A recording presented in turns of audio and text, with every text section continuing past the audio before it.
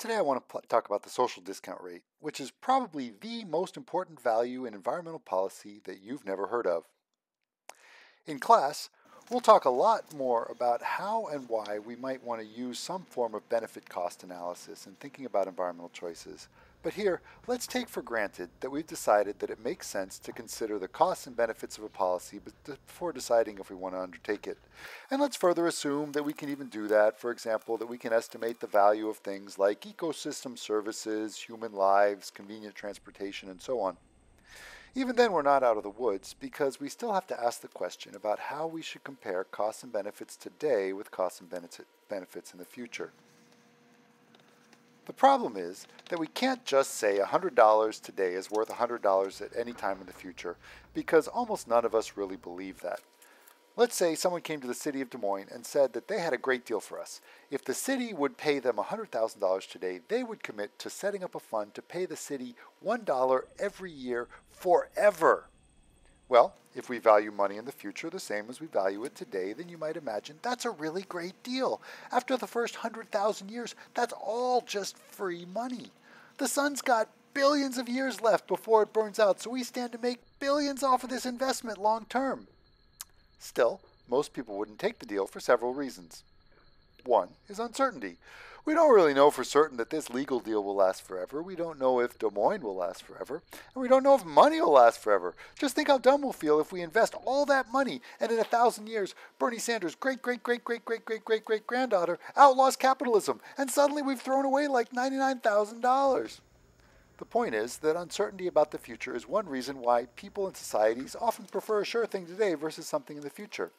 If we all make ourselves miserable fighting climate change today, and then a meteor destroys the planet next year, won't we all feel stupid that we didn't just enjoy ourselves before the wheels came off?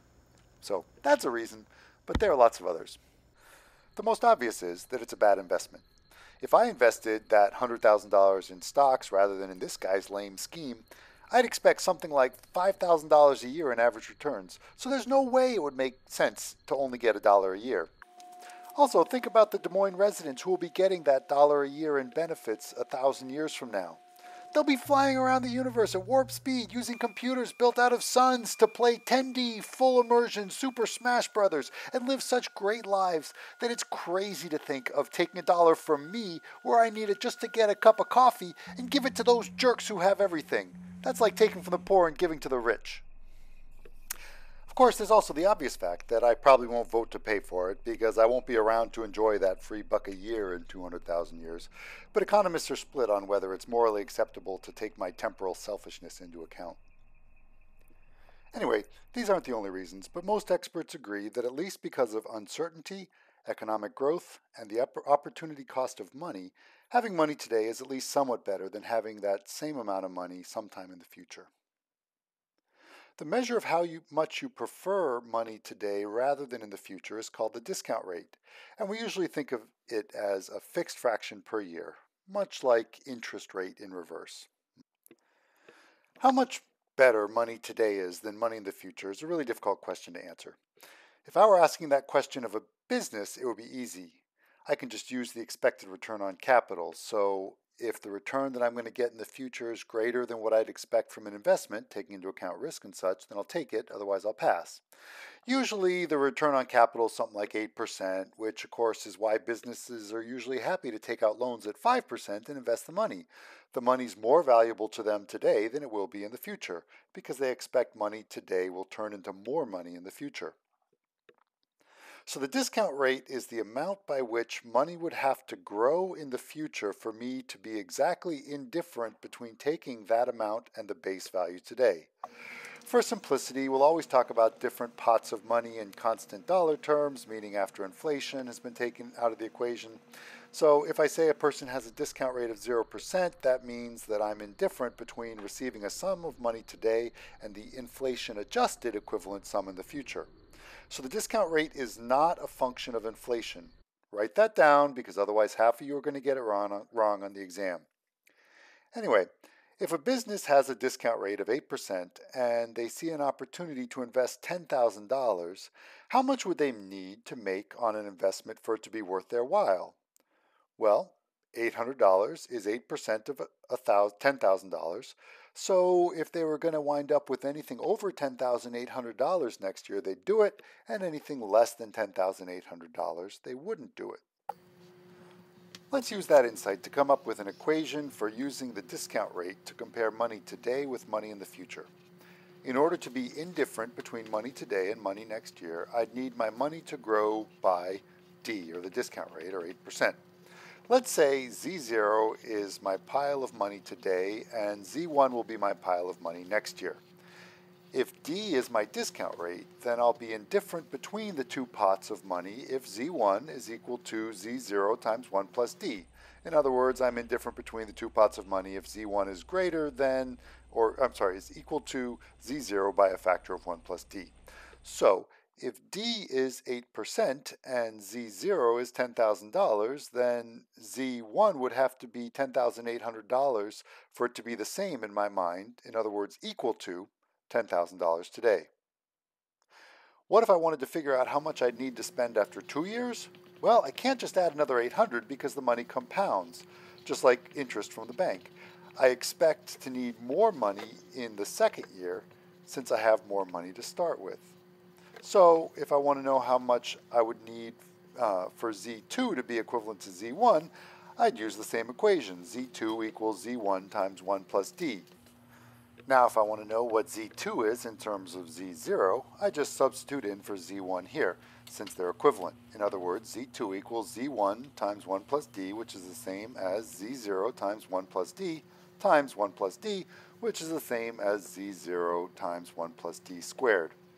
I can do the same thing for a year after that. Z3 is equal to Z2 times 1 plus D, which is equal to Z0 times 1 plus D squared times 1 plus D, which is the same as Z0 times 1 plus D cubed. Hopefully by now you can see that the general equation for z at some time t is going to be z sub t equals z0 times 1 plus d raised to the power of t. Now, here's the fun thing. Let's say someone comes to me and offers to sell me a bond that'll be worth $20,000 10 years in the future and wants to know how much I'd pay her today in exchange for that bond. What do I say? Well, the question I could ask is, what's $20,000 in 10 years worth today? In this case, I know Z sub 10, which is $20,000, and I want to know what the equivalent Z0 is today. Well, luckily, we're all good at algebra, so we just take the equation we've written, z sub t equals z0 times 1 plus d raised to the power of t, and rearrange it to z0 equals zt divided by 1 plus d to the t. In our case, zt is 20,000 and 1 plus d is 1.08, so z0 equals 20,000 divided by 1.08 raised to the 10, which is $9,264.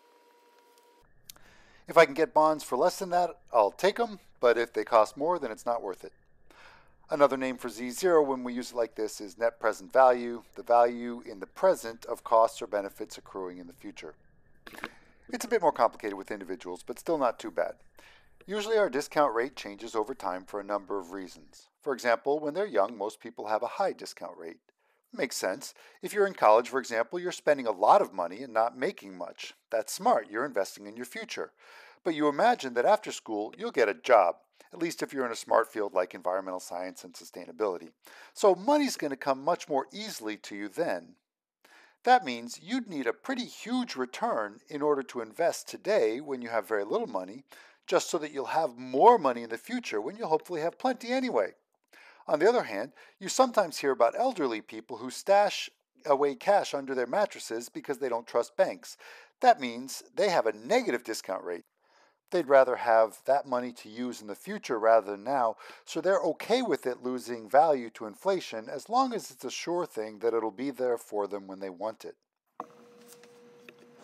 Now with governments, it's complicated. Let's say that we want to know how much we should spend to avoid damages that aren't going to happen for 100 years. For example, to avoid the flooding of a coastal community. One way we could think about it would be to ask how much will the damages cost residents of that community, assuming we can properly take into account all the costs. And then we could just ask whether it'll be more expensive to deal with the problem then by paying them for the damages, or pay for it now by avoiding the problem as you might expect, we can just discount the damages to the present day to figure out how much they're worth. But what's the right discount rate? For a long time, policymakers just used the average rate of return on the stock market, 7 or 8%. The idea here was this. Let's say we want to avoid a million dollars worth of damages in 100 years, and that we can do it with a government program today that costs just $10,000. Should we do the project? Well, the net present value of a million dollars in 100 years at an 8% discount rate is NPV equals 1 million divided by 1.08 raised to the 100 equals $455, meaning that we would only value we would only value a million dollars in 100 years at $455 today. That may seem really low, but it's also true that if we invested $455 today and got an average rate of return on that investment, we'd have a million dollars in 100 years. That's the beauty of compounding. Of course, if we waited 50 years, we'd only have 21,000, so the second 50 years gets you a lot more than the first one. But anyway, the thinking was this why pay $10,000 on a project when we would be better off investing $500 in stock and just paying people for their losses when they happened?